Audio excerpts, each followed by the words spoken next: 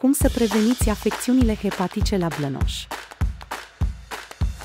Ficatul este vital în organismul animalelor. Oferiți-le o alimentație echilibrată și de calitate. Asigurați-le protecție contra paraziților externi și interni. Monitorizați-le cu atenție greutatea. Evitați contactul cu substanțele și plantele toxice. Administrați-le medicamente doar la recomandarea specialistului. Citește tot articolul pe doza de sănătate.net.